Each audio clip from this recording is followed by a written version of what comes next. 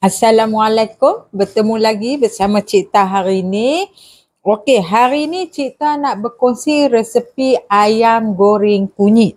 Ha, nah. Lepas tu mah kita tengok bahan-bahan apa yang Cik Tah kena sedia ni. Okey. Mula-mula Cik Tah ada carrot. Nah, Cik Tah ambil sebatang. Lepas tu Cik Tah ambil dalam 3-4 batang lah. Apa kacang panjang. Lepas tu sebiji bawang holland. Lepas tu duk ada enam biji cabai melaka. Lepas tu dua dua tangkai cabai merah. Lepas tu kita ada cendawan inoki.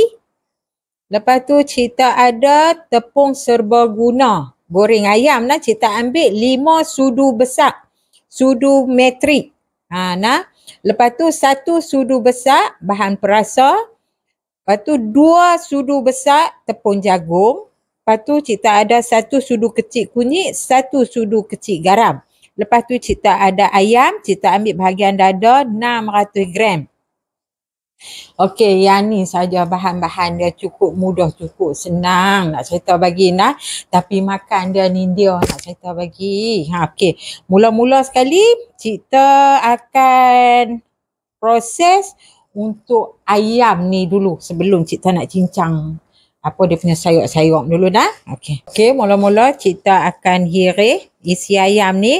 Selalunya Cik akan ambil bahagian dada nah, bahagian dada. Tapi kalau kata nak masuk bahagian lain pun boleh lah. Tapi macam kita kata ganggu lah sikit. Kita nak makan tu nah. Ha, okey.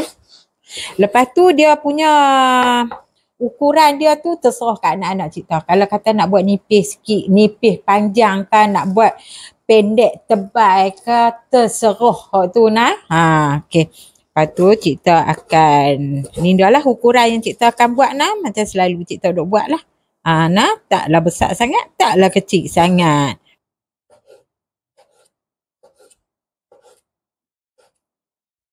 Alhamdulillah siap dah Cik Tahiri. Lepas tu Cik akan masuk garam kunyit. Ha, garam kunyit. Lepas tu Cik akan masuk ni perasa ni. Lepas tu lima sudu besar tepung seberguna ni maksud kita tu uh, tepung yang kita duk buat goreng ayam tu nah. Duk buat goreng tepung udang goreng tepung sotong tu nah. Kita akan ambil setengah daripada ukuran dia. Maksud kata dua camca setengah sahaja nah. Ha, lepas tu kita akan gui dia dulu. Gui dia dulu jangan masuk lagi tepung jagung nah. Jangan masuk lagi Okey, pastikan ayam ni betul-betul dia kering nah. Jangan bagi dia duduk berayak tu, dia tak mau. Nah, bagi kering. Sejak dulu bagi kering. Nah, ha. Okey. Dah sebati dah. Dah sebati dah. Okey, baru kita akan masuk tepung jagung. Nah, tepung jagung. Okey, Alhamdulillah. Hmm. Lepas tu kita masuk tepung jagung. Oh, macam nak buat cucuk. Ah. Hmm, nah. Dulu-dulu nak cerita bagi. Ha ni kita nak mula cerita lah. Kita ni kamu boleh cerita lagu nak bercerita. Ha macam dulu-dulu. Mok-mok kita ni kalau nak makan patah ligas buat ni halah. Tapi depa tak pakai kunyit sabuk. Depa pakai kunyit hidup ataupun kunyit kering. Tumbuk kedekang, kedekang, kedekang. Dengar hampa hujung kampung nak cerita bagi. Nah. Ha, okay. Tu dah hampa dia. Kita kata hampa dia kering dia elok dah dia sebati tu otak telah patak patak patak. Hmm. Ha, nampak ada ada anak? Tengok. Ha, nah. Baru dia kita kata sehari ni baru dia melekat rasa dia apa semua. Okey. Lepas tu tunggu sat cik nak bersiang semua sayur-sayur dalam ni nah. Tunggu sat.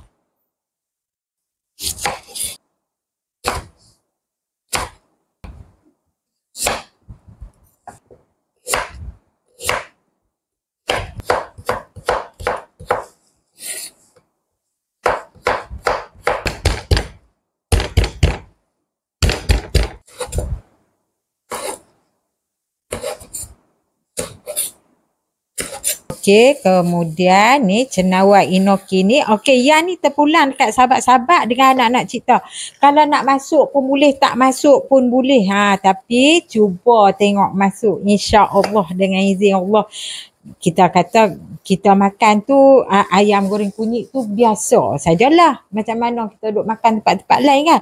Tapi bila sesekali kita duk terpepuk kulat ni nak satu bagi cendawan ni kami duk panggil kulat. Belah kali nak satu bagi belah utara belah utara kami panggil kulat. Ha nah ha dia rasa sedap nak cerita bagi. Okey lepas tu cendawan ni kita akan gue dengan tepung serbaguna ni. Ha Okey, sebelum ada kita nak goreng ayam kita akan goreng dulu cendawan ni nah yang kita masuk dengan apa tepung serbaguna ni nah. Okey, kita pelekat api dulu. Kita tunggu sampai dia panas. Sampai. Okey, minyak pun dah panas, kita akan masuk ni cendawan ni. Oh, tak salah patah patah Bismillahirrahmanirrahim. Ha, nak kecah-kecah dulu nak jangan bagi duduk-duduk sebuku tu tak mau. Nah, kecah-kecah dulu. Hmm. Okey. Alhamdulillah ni sehingga kegaringan kita akan tutup api dulu. Ha, lepas tu kita akan toast dia. Hmm, okay, dah siap. Lepas tu baru kita akan masuk ayam yang kita perak tadi nak. Ha, ayam yang kita perak tadi. Bismillahirrahmanirrahim. Allah. Hmm, lepas tu Allah jangan lupa buka api. Hmm. Hmm, ha? Okey, kalau perlu, kalau kata minyak sikit, buat dua kali goreng. Ha, kalau minyak duk melepuh lagu ni, sekali goreng pun cukup. Lepas tu, jangan duk pi hasil leher. Kita, kalau kata kita nak bagi garing ni, nak cerita bagi kita kena rajin duk kucai dia. Ha, duk alih pima, pima, pima dia. Baru dia masuk sekata, insyaAllah. InsyaAllah nak. Alhamdulillah. Ha, ayam cipta pun dah garing dah. Tengok nah anak-anak sahabat-sahabat cipta. Oh, cantik kalau dia nak. Okey, lepas tu seterusnya cipta akan buang minyak ni.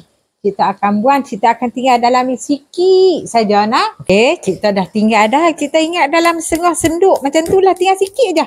Jangan banyak sangat. Lepas tu baru kita akan masuk semua bahan-bahan ni. Ha, nah, ni cara cipta duk buat lah. Semua masuk sekali apa cendawan tu jangan lagi cendawan tu jangan lagi tunggu sat nak. Hmm. Okey lepas tu cik tak akan goreng dia sampai kelayuan. Alhamdulillah. Nah siap dah. Lepas tu kelayuan dah. Okey lepas tu baru kita masuk ni cendawan inoki ni. Ingat nah bila dia berketul tu pecah-pecah dah alai-alai kan dia nak ha masuk dia. Hmm lepas tu sudah dah. Lepas tu kita akan tutup api. Ha, alu kita nak pergi beredon. Tunggu sana. Alhamdulillah siap dah ayam goreng kunyit kita. Nah, mudah cepat. Lepas tu senang nak cerita bagi nak. Lepas tu cuba tengok ni dia. Rasa dia bukan nak puji tapi cuba buat tengok dengan izin Allah. Lepas tu kita nak bagi uh, kuk-kuk anak-anak sahabat-sahabat kita kuk-kuk lupa. Untuk tip dia, ayam ni kalau kita nak goreng, kalau boleh kalau ada di rumah, basuh dengan cuka. Ha, nah basuh dengan cuka kalau kita nak goreng.